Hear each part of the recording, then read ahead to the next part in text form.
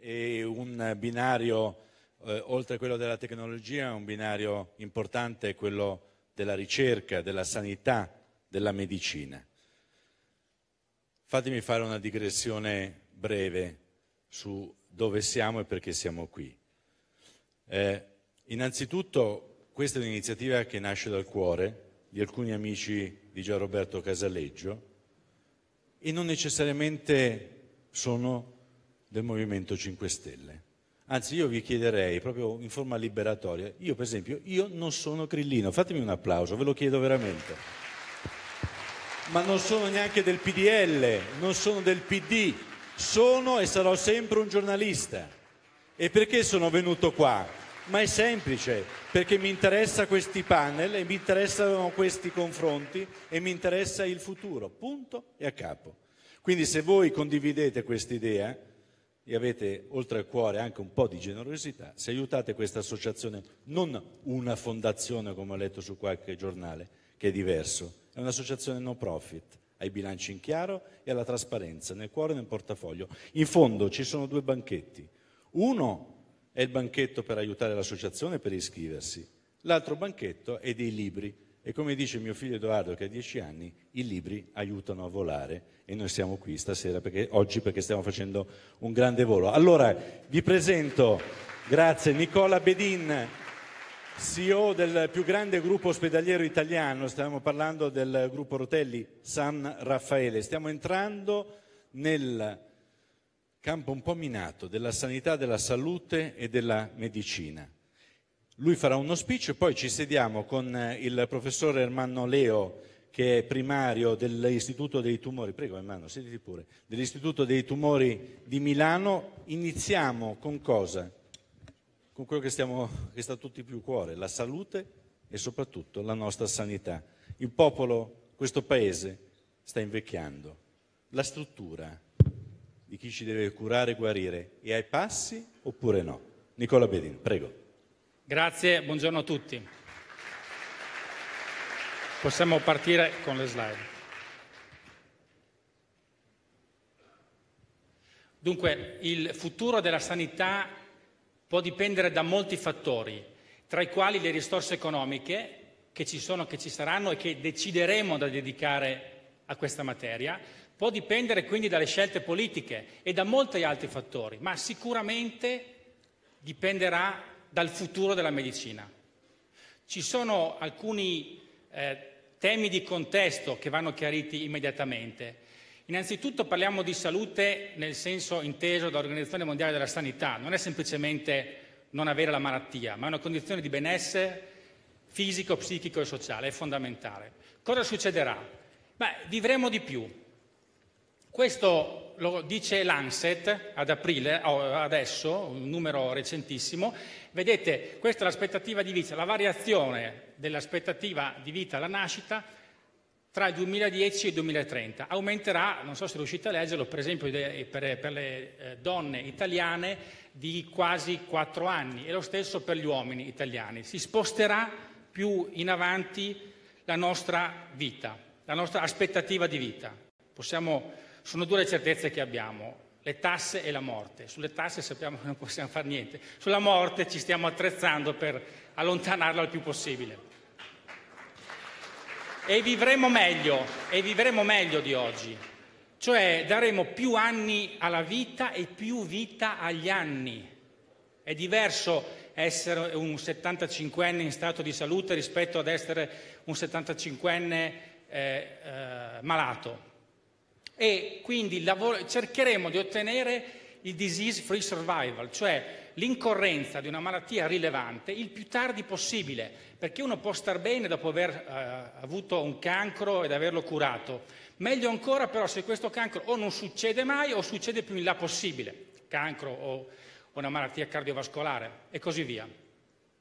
Saremo di più, anche questo influenzerà il futuro della sanità, saremo di più.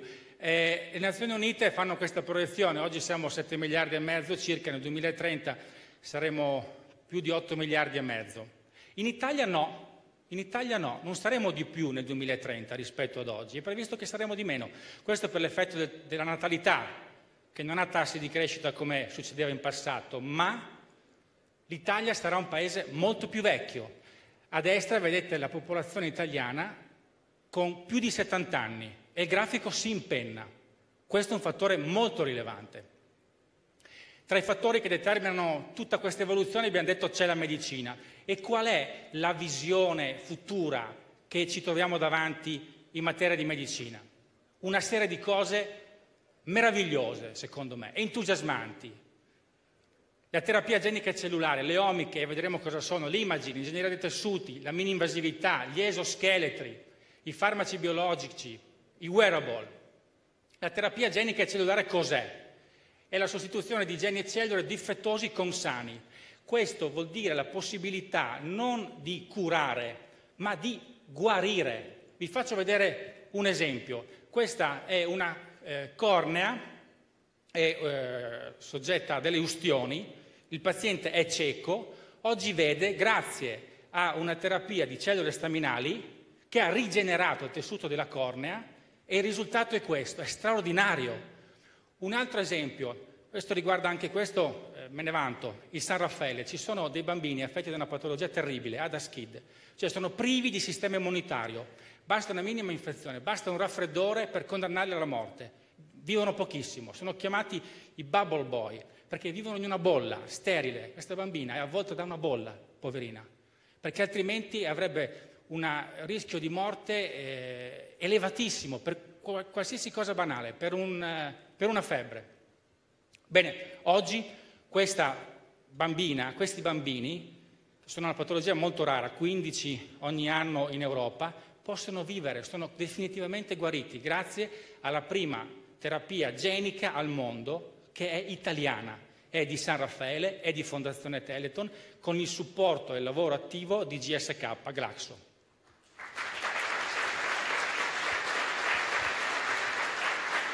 E che il futuro sarà questo, lo dimostra anche il lavoro che sta crescendo su queste tematiche. Vedete, i trials per la terapia cellulare nel mondo oggi sono 393 all'anno, prima nel ventennio precedente erano 50 all'anno. La terapia genica, ne facciamo nel mondo 113 sperimentazioni, prima erano 84, è un trend sicuro, fantastico secondo me. Gli esoscheletri, sapete, sono delle strutture che possono avvolgere il corpo umano aumentando le capacità fisiche e ci sono delle scoperte in questo settore e siamo agli albori eccezionali. Se possiamo partire col video, dura pochissimo ma è straordinario. Ops, ecco. Grazie.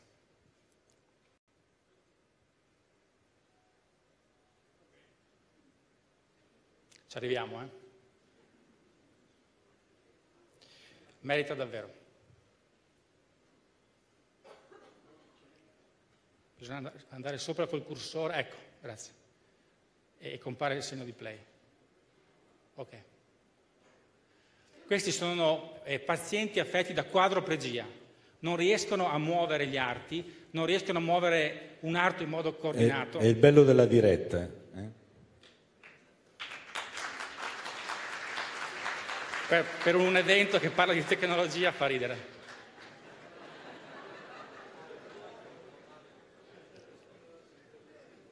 Bisogna passare col cursore sopra all'immagine.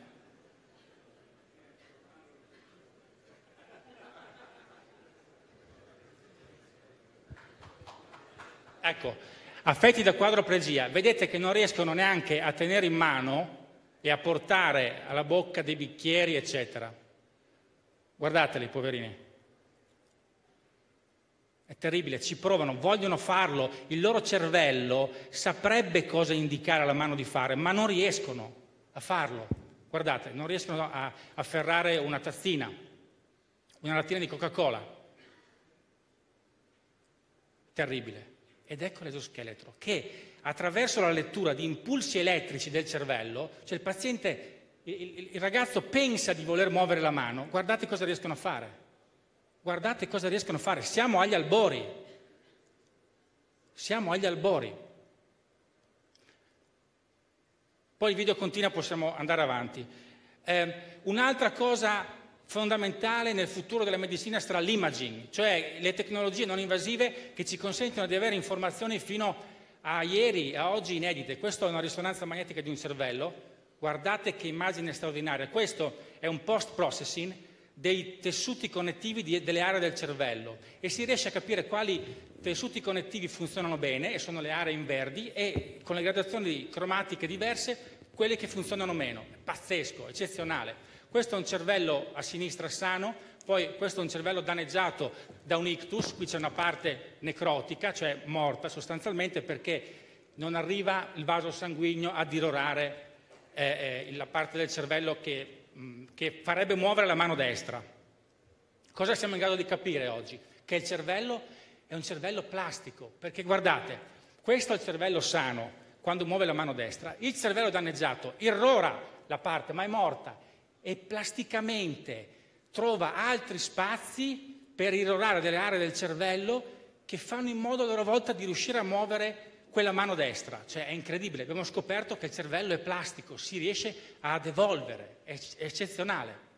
Poi ci sono i wearable, il, i nostri orologi, l'Apple Watch e quant'altro, oggi non sono nulla rispetto a quello che avremo tra pochi anni. Eh, questo è stato da pochissimo approvato dall'FDA, è uno strumento, beh, non è proprio indossabile, ma il concetto è quello, che consente di fare un, ECG col proprio telefonino e un semplice tocco con le dita approvato dall'FDA per monitorare la fibrillazione atriale. Ma si andrà oltre, ma anche tra poco. Guardate, quel cerottino può misurare la saturazione arteriosa dell'ossigeno e chiaramente sono numeri, quelli del progresso, notevoli. Si prevede che tra il 2015 e il 2019 questo cresca ad un tasso anno medio composto del 30%, vuol dire più che raddoppiare questo mercato in tre anni. E poi c'è tutta la, la, la parte mini-invasiva e robotica, della chirurgia. Questo è un robot, è una fase iniziale, ma è un robot autonomo. Viene posizionato sul, in questo caso sono delle anastomosi del colon, e lui lavora autonomamente, supervisionato dall'uomo, ma fa una sutura da solo. I robot attuali, c'è un video interessante, però non ve lo faccio vedere per non perdere tempo, suturano la buccia di un acino d'uva, per dire la precisione e alcuni di voi sapranno l'intervento al cuore, la valvola aortica, ad esempio, vedete lo schema a sinistra, fino a qualche anno fa implicava l'apertura dello sterno, una manovra molto cruenta, oggi lo viene fatto con tecniche mini-invasive totalmente diverse. Anche qui ci si attende uno sviluppo notevole, risorse messe per creare questi miglioramenti. Poi ci sono le omiche, che è un mondo eccezionale, sono l'insieme di dati biomolecolari estesi, perché sono tantissimi, e personalizzati. Sono quelli che consentono di avere la carta di identità dell'individuo, ma sono così tanti i dati recuperabili, oggi ci stiamo lavorando, non siamo al punto ancora di averli tutti e di poterli utilizzare, che la nostra carta di identità non saranno due foglietti di carta, ma sarà un tomo della Treccani, per intenderci, per ciascuno di noi.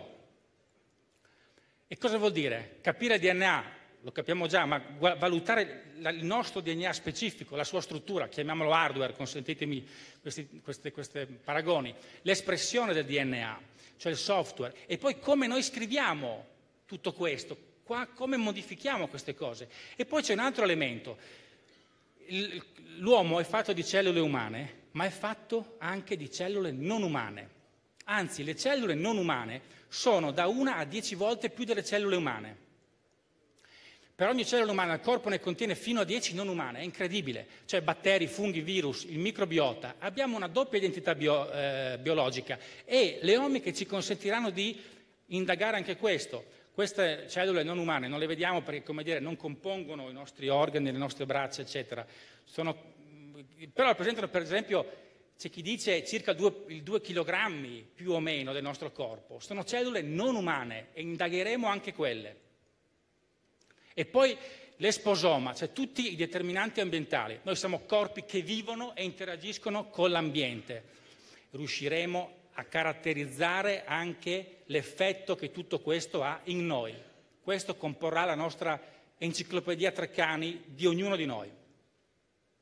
Oggi le informazioni che abbiamo eh, sono eh, quelle tradizionali. Nel futuro queste informazioni che usiamo oggi, i dati clinici, saranno il 10% delle informazioni che useremo per capire l'uomo, il restante 90% sarà dato dalle omiche. E sono dati, dati enormi. Ognuno di noi si stima avrà un eh, 1100 terabyte di informazioni derivanti dalle omiche rispetto ai 0,4 terabyte dei dati tradizionali. C'è un tema di sicurezza e, e, e software, hardware che gestiscono tutto questo. Poi c'è l'ingegneria dei tessuti.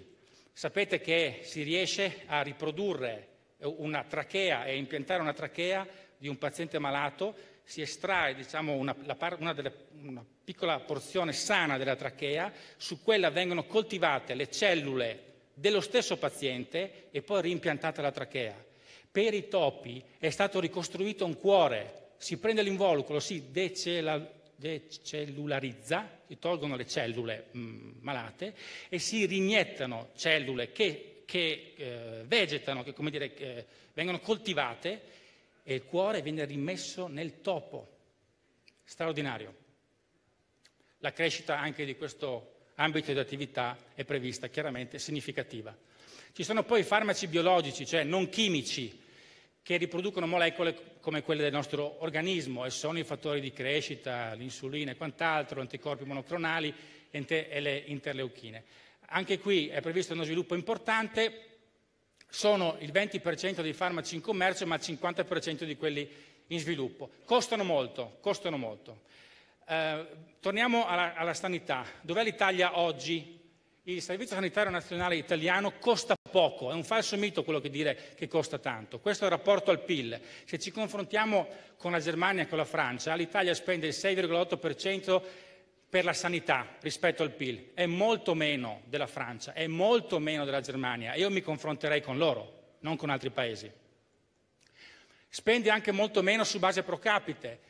La Germania spende quasi il doppio di noi, forse perché sanno che è un settore strategico per il Paese, forse perché lo ritengono fondamentale.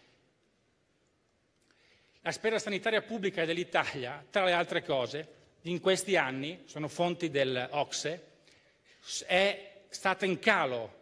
Nello stesso periodo la spesa pubblica sanitaria della Germania è cresciuta del 32%. Secondo me siamo noi che sbagliamo, non loro. E quella della Francia del 12,4%. E questo in un contesto in cui l'Italia ha la popolazione più vecchia e quindi per, le, per la quale le cure sono più costose. È assurdo. Quindi chiedersi se siamo alla fine del Servizio Sanitario Nazionale, se siamo alla fine dell'esistenza in Italia del diritto alla salute, una conquista sociale straordinaria, non dappertutto nel mondo esiste il diritto alla salute, negli Stati Uniti la salute non è tanto un diritto, è un bene, da noi deve essere, mantenersi un diritto. Eh, grazie.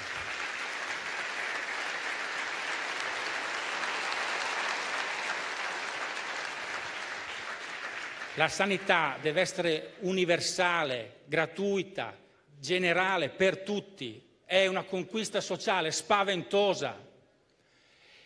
Ma il sistema scricchiola, non lo dico io perché sembrerei eh, manifestare un giudizio soggettivo, lo dice l'Istat, il Censis, la Corte dei Conti, c'è una pressione crescente sulle spese dirette, sia per il pagamento del ticket, eh, o per il ricorso alla sanità privata si determina un inevitabile meccanismo di penalizzazione e di riduzione delle possibilità di cura, soprattutto per coloro che dispongono di minori risorse, aumento della spesa privata, creazione di nuove disparità e ancora diseguaglianze, eh, si alimentano nuovi squilibri. Il sistema così collassa e collassa il diritto alla salute, collassa la nostra civiltà. Dobbiamo lavorare perché questo venga evitato e si può fare, e si può fare. Secondo me bisogna investire in formazione, come è già stato detto, bisogna investire in formazione. Questi cambiamenti devono essere affrontati non rincorrendo, oggi siamo già alla rincorsa purtroppo, ma cercando di recuperare terreno. Non devono diminuire le risorse, perché avete visto il livello di spesa attuale da qualche parte vanno trovate, ma non devono diminuire le risorse per il Servizio Sanitario Nazionale, devono aumentare. E io non credo, io non credo che i soldi non si possano trovare. Ci devono essere delle priorità, la sanità secondo me, la salute è fondamentale. Bisogna spendere me- meglio, non meno. Ci sono situazioni, è inutile nasconderci dietro un dito, di sprechi notevoli. Ci sono situazioni di alcuni ospedali pubblici che, eh, che, che, vengono agli onori della cronaca. Ci sono sprechi. Lo spreco non è utile per nessuno, per definizione. Sono soldi buttati via. Quei soldi vanno recuperati, spesi meglio e rimessi nel sistema. Succederà, succederà che gli, ospedali si alleggeriranno. Cosa intendo dire? Beh, si, farà, eh, il, si starà bene più a lungo, le cure saranno più brevi perché si curerà meglio, eccetera. Quindi è inevitabile che l'ospedale come lo conosciamo oggi cambierà. Ci sarà un'assistenza da dare a chi sarà autosufficiente o non autosufficiente anziano, quindi si sposta un po' il paradigma. Ci sarà l'e-health, cioè l'assistenza a domicilio, sia telematica che non telematica. Bisogna diffondere una cultura del sociale. Lo status symbol non deve essere possedere il Rolex, deve essere potendolo solo permettere, fare del bene e dare soldi per la ricerca. I, chi può permetterselo economicamente, se facesse una riflessione personale, potrebbe modificare le sorti del nostro sistema. Negli Stati Uniti ci sono molti che donano, perché per loro è anche un motivo di orgoglio. Per noi no, ah, perché devo dare dei soldi a questo o a quell'altro. Bisogna diffondere la cultura del sociale. Massimi sistemi, uno micro, voi non lo saprete, ma nella sanità, per gli ospedali, comprare le garze, eh, le, eh, le siringhe, i prodotti medicali e anche i farmaci, si paga l'IVA come se fossimo un consumatore finale. Un 22% per comprare una garza è un soldo che non riguarda il valore di ciò che compriamo. Gli ospedali pagano l'IVA, per gli ospedali l'IVA non è deducibile, è un costo puro, assurdo eh, per il formaggio l'IVA al 4%, la garza al 22%. E poi se non vogliamo che il sistema esploda, perché aumentando la popolazione anziana aumenteranno i costi, è inevitabile, le tecnologie poi costano, bisogna fare prevenzione, lavorare con lungimiranza, investire oggi su eh, prevenzione consente di mantenere il sistema, perché in questo modo si sposta in avanti il momento in cui il tema della salute di una persona diventerà un costo vero. Prevenendo si sposta in avanti la lancetta ed è così che si può salvare il sistema. Investire in ricerca di base. Si investono troppi pochi soldi nella ricerca di base, che è la ricerca fondamentale. Un paese, se investe in ricerca di base, crea conoscenza, diffonde competenza e questo è un valore. Ed è lo Stato che deve farlo, non aspettiamoci che lo facciano altri. In Italia, concludo, mancano i medici. Non so se lo sapete, mancano i medici. Nei prossimi anni mancheranno i medici. Non riusciremo ad assumere persone medici. Ce ne sono troppi pochi. Perché? Perché c'è un numero chiuso all'Università di Medicina, troppo basso, quindi si presentano per 100 posti alla facoltà di medicina in 3.000 e se ne prendono 100. E io dico, cosa ci vuole? Forse aveva senso negli anni 70-80, quando la, eh, gli iscritti a medicina erano più di quelli che servivano per, per, il Servizio Sanitario Nazionale, ma oggi togliamo il numero chiuso nelle facoltà di medicina o ampliamo il numero, rimaniamo senza medici.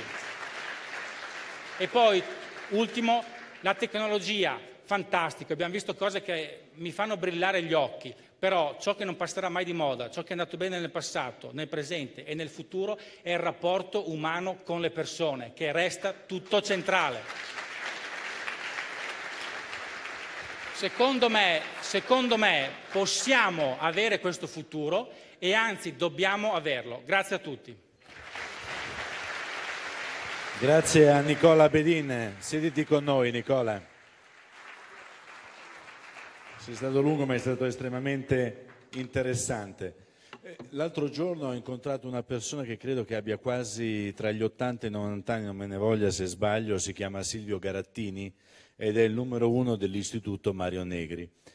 Per prepararmi a questo incontro, io mi occupo anche televisivamente più di, di morti che di vivi, purtroppo, sa, qualcuno di voi magari lo sa, però per prepararmi a questo incontro sono andato a cercarmi delle dichiarazioni, delle battute, delle eh, degli approfondimenti di Garattini, che è una persona estremamente seria.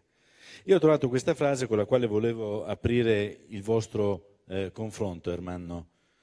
Lui dice, questa idea, eh, Silvio Garattini, allora, direttore dell'Istituto di Ricerche Farmacologiche Mario Negri di Milano, questa idea di curare i sani è solo l'ultimo atto di una strategia che inizialmente è partita allargando artificialmente la platea dei malati.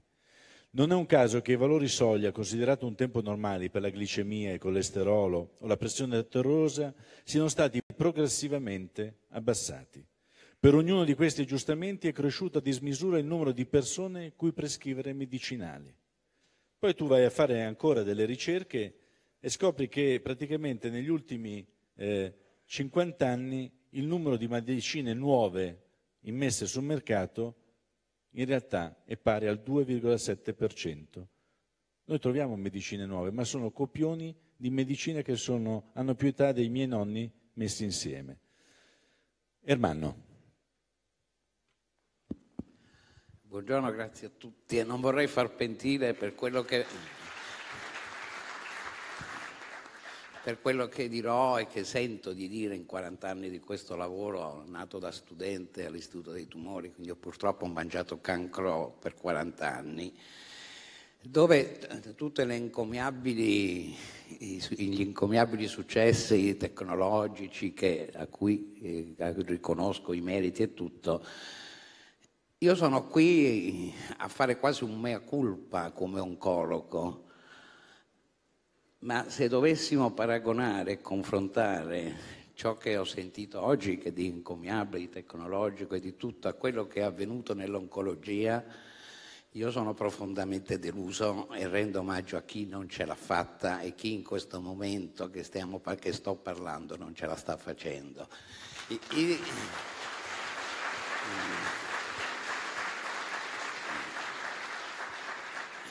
A me interessa un dato, poi tutti i giochi statistici sappiamo che si possono manipolare e fare.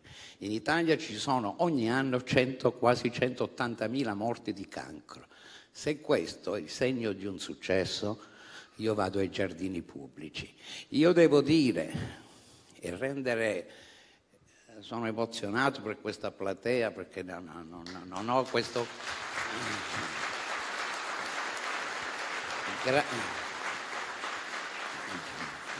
grandi occasioni di parlare perché chi mi conosce spesso non mi invita perché, come diceva, se, se possiamo mandare la prima che ho trovato questa frase di Platone che credo si addica a tante cose, e questa è una sacrosanta verità che non è detta oggi ma è detta nella storia cioè aver paura della luce. Eh, sul problema oncologia noi dobbiamo rendere veramente omaggio e grazie agli italiani, parlo della, dei nostri italiani, perché si sono avvicinati a quella cultura della, della diagnosi precoce più che prevenzione, perché anche qui si fa una confusione micidiale. Guardate che noi stiamo riuscendo anche a usare in maniera non dovuta, in maniera così per, a guarire le persone di cancro, perché li prendiamo in tempo e con le mani possibilmente esperte riusciamo a guarirli veramente, forse anche senza l'ausilio dei farmaci che ovviamente servono per quel po' che servono nei casi che purtroppo arrivano nostre, alla nostra attenzione e alle nostre cure. Il timore mio, e me ne assumo totalmente la responsabilità, è che il cancro sia diventato in questi decenni un affare insieme alle guerre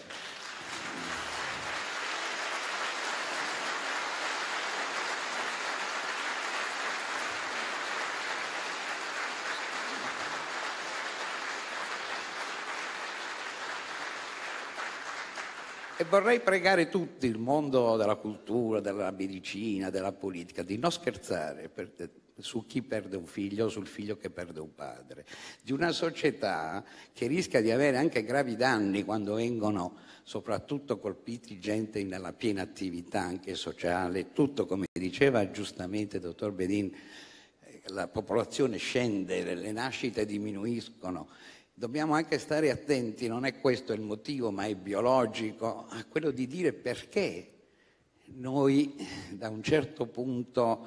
Vi dico una cosa che diceva mio padre, quando io arrivai a Milano, definito da qualche imbecille terrone, eh, quindi ed è quello che abbiamo fatto, Lui, io eh, mi laureai proprio all'Istituto dei Tumori facendo, mi disse ma perché vuoi, lui insegnava poverino, oggi spero che mi guardi da lassù, vuoi fare, abbracciare l'oncologia?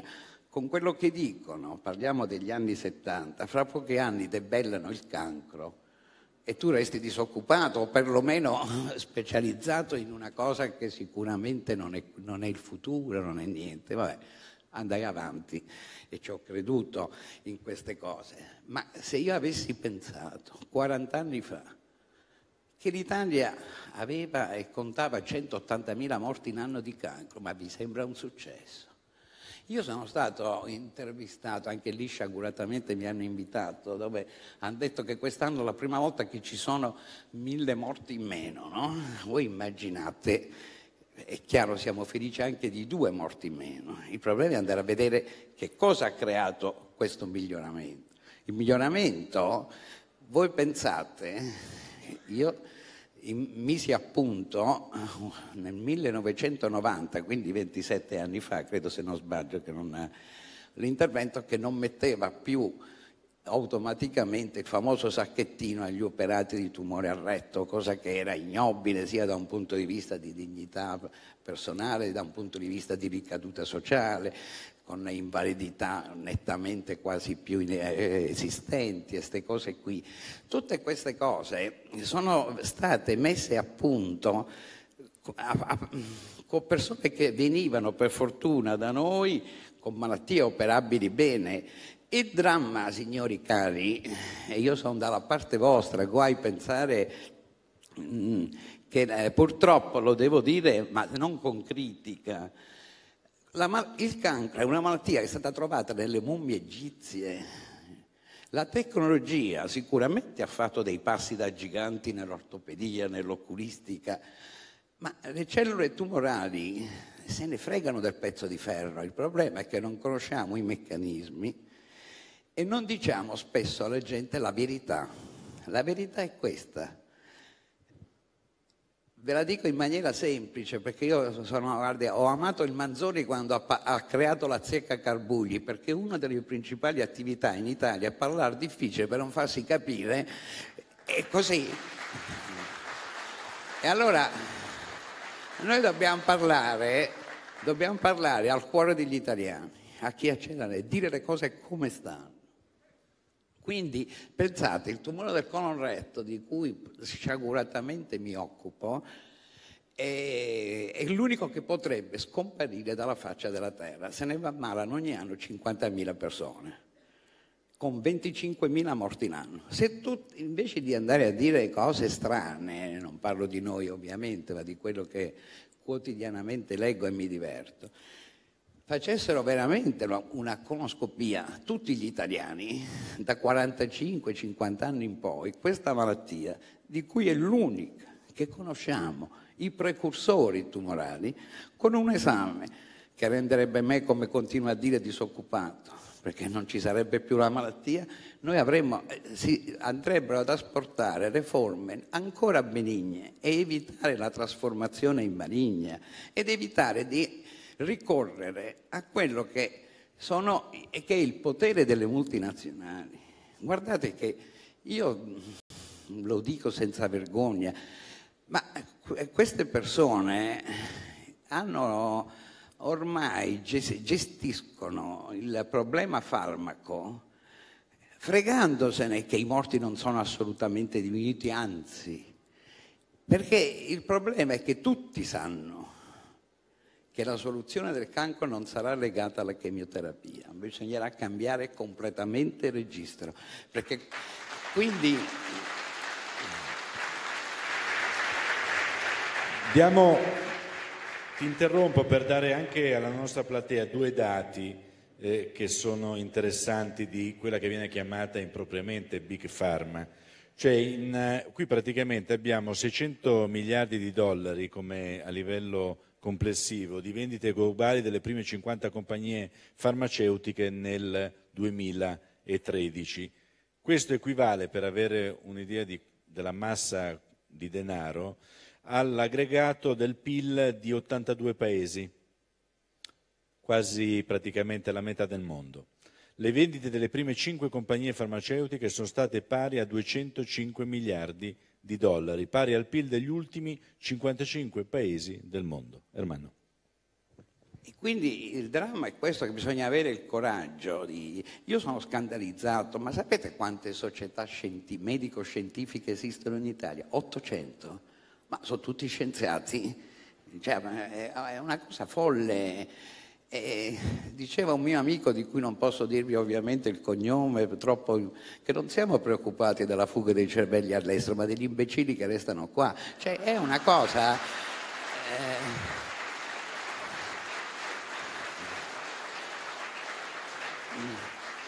È una cosa questa abbastanza allucinante.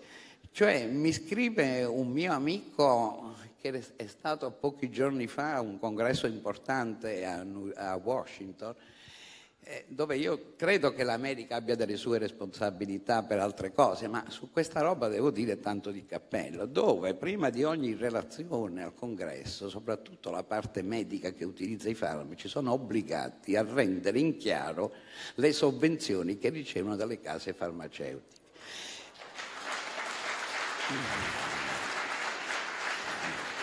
Io, come direttore della chirurgia, un giorno quasi per sfida, anche perché capito, il discorso del pubblico è che non ha la stessa percorribilità e autonomia che ha il privato. Io credo che solo, oltretutto, eh, io credo che il privato basta demonizzarlo quando il Presidente del Consiglio Gentiloni sta male, non va nell'ospedale pubblico, va al Gemelli, che è un ospedale tanto di cappello privato, ma addirittura di proprietà di un altro Stato.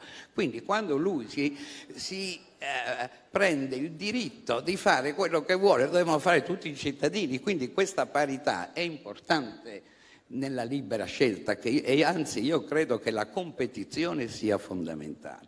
Vi stavo dicendo che io per sfida, quasi per disperazione, scrissi una mail ai miei collaboratori e all'amministrazione in cui dicevo che da adesso in poi no, i medici non devono andare a più di due congressi l'anno scegliendo i migliori.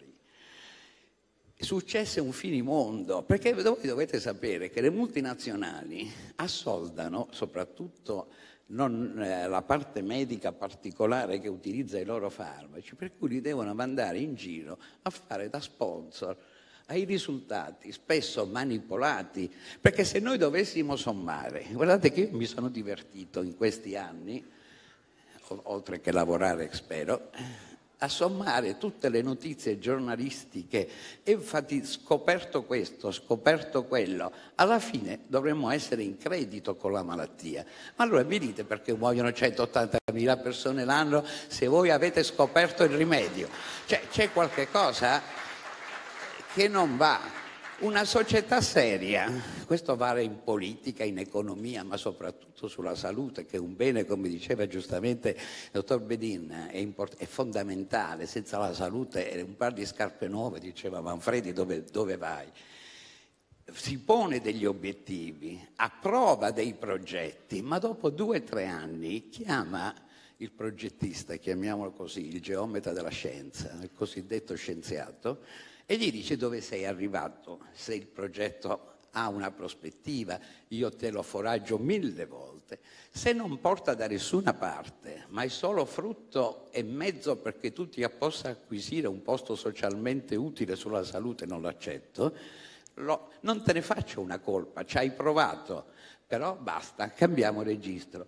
Ci sono troppi progetti finalizzati al mantenimento di un posto di lavoro. Se questo è il gioco, me lo dite e non facciamo andare i famosi ricercatori sui tetti a piangere perché se si blocca la loro ricerca la gente muore. Il problema è che ricerca stai facendo. Manca il sistema di controllo per dire la ricerca è fondamentale, ma mi dovete dire dove state andando. Ermanno, proviamo a confrontarci. No, no, ma non ti voglio, ti ascolteremo, no, credo, per molto, per molto, tempo. I tempi però della nostra agenda di oggi sono un po' stretti. Volevo confrontare questa, eh, diciamo, una denuncia di un medico che da 40 anni è impegnato in oncologia all'Istituto dei Tumori Noi abbiamo perso, non è facile dirlo, non è facile dirlo parlando in prima persona. Come si può fare una sintesi tra la denuncia del professor Manoleo e questi dati che tu hai dato eh, di speranza e di, di, prospettiva? Ma più che denuncia è un'amarezza, eh, non vorrei che... Beh, la denuncia... Qui. Beh, dunque, innanzitutto c'è da dire una cosa, che eh, se ci sono delle big pharma che producono questi farmaci, hanno questi fatturati, eh, eh, ci sono anche dei medici che li comprano e li prescrivono. E quindi ehm, gli attori sono, sono, non solo le big pharma. E poi c'è da dire che ehm, eh, hai citato il dato del fatturato, 600 miliardi di dollari. Le big pharma sono oggi il principale investitore in ricerca e sviluppo eh, volenti o nolenti, sono i principali investitori di ricerca e sviluppo. Nel 2016 hanno investito, me lo sono insegnato, 160 miliardi di dollari, l'anno prima 141 miliardi di dollari. Quindi, senza fare giudizi di merito su questa situazione, però sono eh, ehm, istituzioni che investono più di tutte in ricerca e sviluppo. Può voler dire che investe troppo poco lo Stato, ad esempio. E sono un po' più ottimista del dottor Leo, pur condividendone eh, alcune riflessioni. Quanto ho detto io condurrà eh, non alla medicina personalizzata. Chi mi dice che il futuro sarà la medicina personalizzata mi fa arrabbiare, perché io dico no, caro mio, la medicina personalizzata tu la devi fare oggi perché, caspita, stai curando quello specifico paziente e lo devi curare diversamente da un'altra persona perché lui, lui hai davanti ma sarà la medicina di precisione. Tutte quelle informazioni che ricaveremo dalla, dalle omiche, ad esempio, ci sapranno, ci dovrebbero saper dire se in effetti quello specifico farmaco, che può andare bene per un specifico paziente, potrebbe non andare bene o addirittura fare del male per quell'altro. Un po' di informazioni potremo ricavarle. La seconda cosa che io vedo è che per mettere le spalle al muro a questa situazione si deve creare il concetto di pay by result cioè io il medicinale lo pago se ha efficacia. No, per consumarlo, aspetta. Oggi è, lo paghiamo per prescriverlo. No, si deve pagare per efficacia, per risultato. Questo secondo me è fondamentale. Questo concetto, più la medicina non personalizzata che ci deve già essere, ma di precisione, possono ehm, in parte mitigare. Quantomeno io sono ottimista, io, io se potessi condizionare eh, le cose, cercare di fare in modo di condizionarle in questo, in questo modo. Guarda che, guardate che noi siamo salvi come generazione per due persone. Fleming che scopre la, la penicillina, perché sono, tanti nostri genitori sono morti per una banale polmonite e non l'ha fatto con i soldi della, della Big Pharma o dell'industria, l'ha fatto col cervello. Noi, la, gran, l'altro grande personaggio della storia è Albert Sabin, altrimenti molti di noi venivano qui, se venivano con le, con le stampelle o con la sedia a rotelle e questi l'hanno fatto senza il famoso 455 che oggi dilaga approfittando di una generosità degli italiani che danno soldi e non si è mai capito dove vanno a finire, perché non c'è un resoconto. Cioè, io vi dico che da, sulla medicina personalizzata sono d'accordo, ma in Italia si ammalano precisa, oltre, precisa, 4, oltre 400.000 persone di il cancro. Continuiamo a dire, noi lo scambiamo per una malattia sono mille malattie almeno, una diversa dall'altra, che si comportano per, addirittura in maniera diversa quando alla nostra osservazione sembrano apparentemente sembrano statistiche uguali da un punto di vista biologico. Vi dico un episodio, poi me ne vado e non mi vedrete più per tutta la vita. Allora, io, noi siamo eh, chirurghi, Attenzione che in Italia c'è una nuova professione. Mi capita un bando di ricerca che mandano a tutti per ricercatori riservato a ricercatori che sono biologi, virgola, scienziati. Io mi sono chiesto e parlavo, non esiste la laurea in scienziologia. non esiste l'ordine degli scienziati. Mi dite come cavolo si fa ad essere soprannominati e denominati scienziati? Ma veramente fa, torna il discorso che non sono quelli scappati, ma sono questi quattro pirla rimasti. Ma adesso abbiamo creato abbiamo creato una nuova professione che non è codificata da nessuna parte che si chiama lo scienziato. E vabbè, io preferisco essere codificato il cretino. Però la verità cerco di dirla in maniera onesta e leale. Queste storie qui devono un attimo essere riviste, andare a vedere i resoconti, a vedere le cose.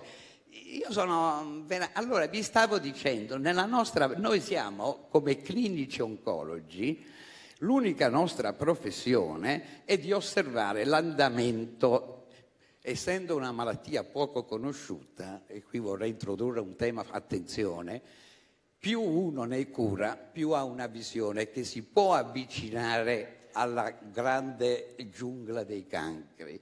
Oggi scopriamo, non lo dico perché voglio lavorare solo io che non ce la faccio più ed è pesante e rischioso quello che dico, ma c'è gente che il cancro l'ha scambiato per un segno zodiacale che regola la giornata. Il cancro ci regola tutta la vita, io l'ho definita non una malattia ma un viaggio perché non ci si stacca mai dai controlli, dal eh, continuo contatto. Mettemmo, individuammo due gruppi di persone ammalate si, la cui malattia si comportava in maniera diametralmente opposta facemmo individuare, non certo noi perché siamo dei manovali, da un gruppo che non so come fu, eh, come mai cadde nella mia trappola, e individuò una proteina che era presente dove gli ammalati andavano male rispetto a quelli apparentemente uguali che invece andavano bene. Ci facemmo costruire, dico la parola costruire, da un'azienda che poi è sparita, questo vaccino contro quel tipo di proteina. Fummo autorizzati, perché io non faccio cose nei sottoscala, ma tutto ufficialmente dai comitati etici. Qui si abusa in Italia, l'altra parola che si abusa oltre scienziato è etico, cioè eh, sono tutti etici, ne succedono di tutti i colori. Però eh, facemmo fare questo vaccino. Ci fummo autorizzati a utilizzarlo per 14 malati, perché avevano caratteristiche estremamente ristrette per valutare. I risultati non furono deludenti, anzi, voi sapete che dopo quello lì, se, se voi digitate su Google, visto che qua siete super tecnologici rispetto a me che poi quello, il signore mi deve dire come fa a comprare. Ermano, dobbiamo chiudere perché sennò ci chiusa, bacchettano. Si è chiusa ogni risposta perché il timore qual era? Che se per caso questa iniziativa poteva dare qualche segnale positivo, poteva sostituire invece quei farmaci dove devo dire che l'India è stata l'unica nazione che ha mandato a quel paese la Novartis dove gli ha detto che il suo, che il suo farmaco, il brevetto, se lo era scaduto, il brevetto in sanità è immorale perché è un bene dell'umanità. Grazie a Ermanno Leo, grazie a Nicola Bedin. Vi accompagno